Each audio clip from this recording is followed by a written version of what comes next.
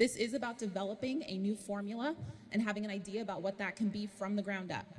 This is creation. Sometimes it's hard to come up with new ideas versus talk about something that already exists, but this is about creating a new formula. This is not, and I want to be very, very clear, this is not about some preconceived formula. We know we want to go to a student based, and that means we know how every individual child is funded and what that will mean for them.